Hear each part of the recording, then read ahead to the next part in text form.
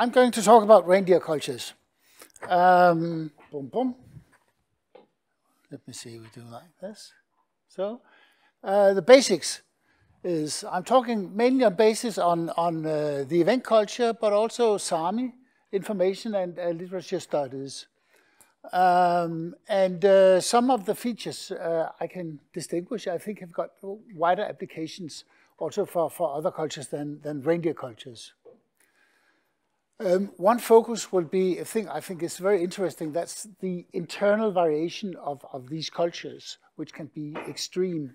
Um, another focus is on the force um, um behind, behind this variation, which is uh, clearly, for a large part, uh, identity, the feeling of identity, uh, simply to be different. And the third focus will be the interaction between such cultures, including some territorial issues and uh, uh, changes of clan territories, strategies for collecting information about foreign areas, and, and things like that. But first, um, one culture consists of nu numerous clans with a whole spectrum of economic strategies and thus different settlement patterns each making their economic strategies, uh, strategic decisions. They have a clan leader, and um, at times switching from hunter-gathering to pastoralism. Uh, earlier, pastoralism wasn't that normal, but it looks as if you've also had some pastoralism earlier. Well, um, if you look at here four different cultures, in archaeology we tend to think that they are more or less internally homogeneous. Um, uh, and if we stand in the field looking at a reindeer culture, for my sake, uh, mainly the Evenk, we found out that they are bloody different. There is a number of clans, and they vary um, with regard to material, culture, typology, with style, ritual, linguistic details, preferred food items even, etc., um, etc. And um, for instance, um, what I discovered with neighboring clans of, of uh, the Evenk uh, was that they carry out the bear ritual, all of them. Uh, the main essence is the same, but the uh, uh, way they do it and the physical uh, features that accompany it is very different from clan to clan. Um, so something is clearly going on. Also with uh, regard to dialect, two neighboring clans often don't understand each other because they have got so different dialects. It's quite strange. Um, and even if you dive into the clans, you can see the different families. They can have different traditions, different ornament, and so on. But the most significant differences you have between uh, the clans, probably because they're also the territorial units. Uh, so that's where you have the main identity. Um, it's a well-established uh, phenomena in uh, ethnography, social anthropology, um, that you have uh, such uh, variation. And uh, you can also see that it's actually dynamic over time. Um, in archaeology, we tend to more or less ignore that kind of dynamics, but um, uh, because it makes archaeological interpretation difficult to handle. Um, that it is also difficult to observe in the archaeological record is that it is often bound to organic materials. You signalize uh, uh, your difference in ornament and so on in bark, in fur, skin, and so on. But there's really a, a, very, very fast exchange of patterns and traditions and styles going on, competition about being the smartest and so on. Um, he uses uh, the concept of isochrestism for that um, meaning that some some uh, kind of signaling, cultural signaling, goes uh, uh is is uh, uh, changes fast in in materials that are, are often easy to to manipulate. Um, it no doubt also plays a role that the main focus in archaeology is to distinguish cultures more than cultural groups. But as I said, the central driver behind this is identity, uh, and as I could press the Evenk to uh, admit, um, uh, they say everybody wants to be a little bit different. It creates an us and them at all scale levels of the society.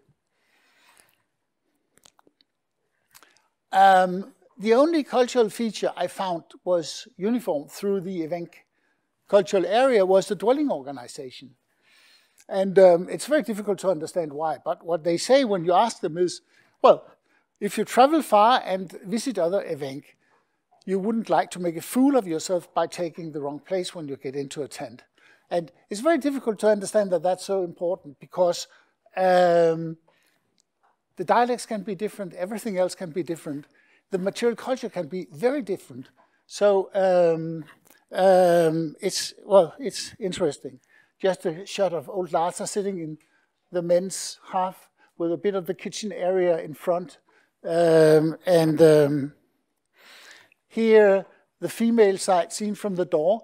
Uh, when there is a lot of women, you can squeeze the pattern. But you have the, the same relative pattern inside the tent, and you're very strict about it.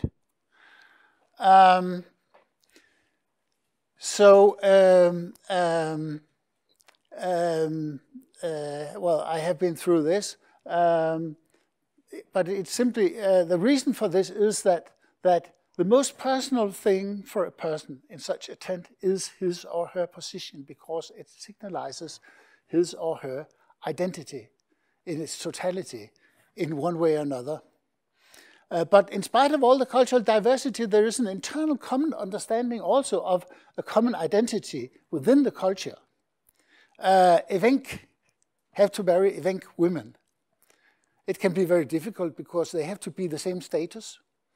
So they may have to travel far.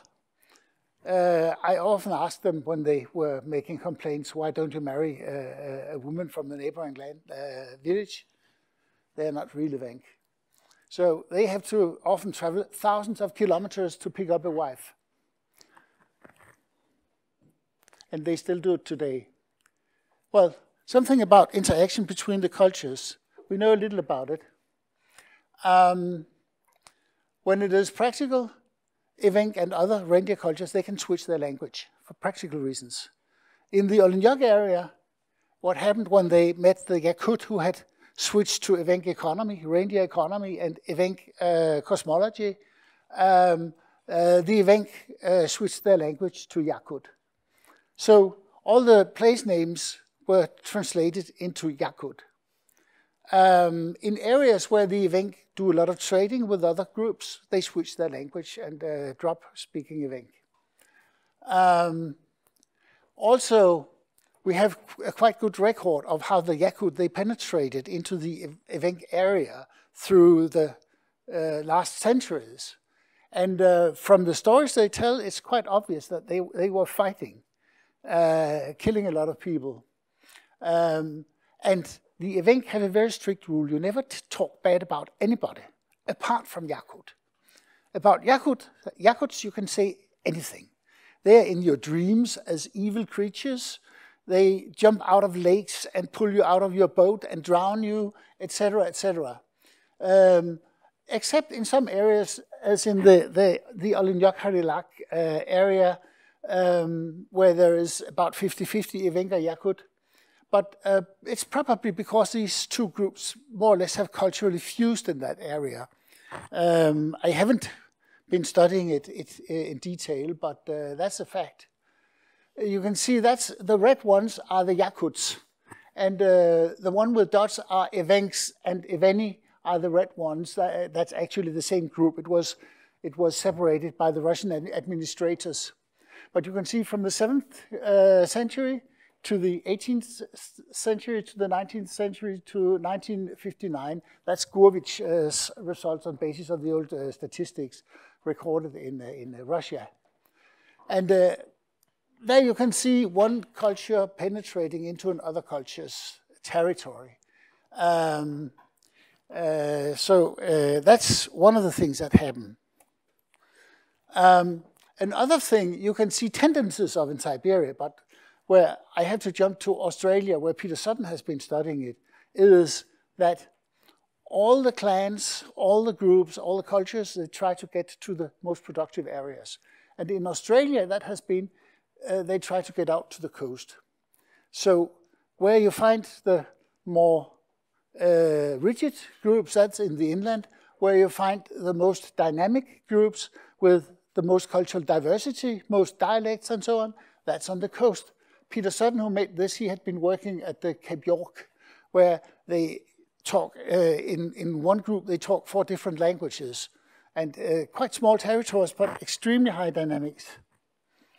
Um, if we look at, at uh, culture groups on the uh, map, um, the Manchu and the Evenk and the Even, that's actually the same culture. Uh, the Chinese don't like to hear that, but that's a fact.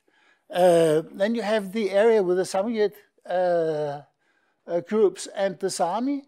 Um, and if you look at, at their dwelling organization, which I think is a, a very central cultural feature, um, then they actually have quite similar, uh, but not identical, uh, types of dwelling organization. But characteristic is that it is uh, separated alongside from the door inwards in the dwelling. And one side is important, the other is much less important. Um, I'm still collecting data on the Samoyed groups uh, because it's very diffuse what, what you have of information. Social anthropologists have not been that interested in, in precise information about dwelling information. But um, uh, they have quite closely related pattern, which actually, interesting enough, is also closely related to the late Mesolithic pattern you have uh, and uh, uh, hunter-gatherer Neolithic pattern you have from Finland. Um, uh, I'll show you.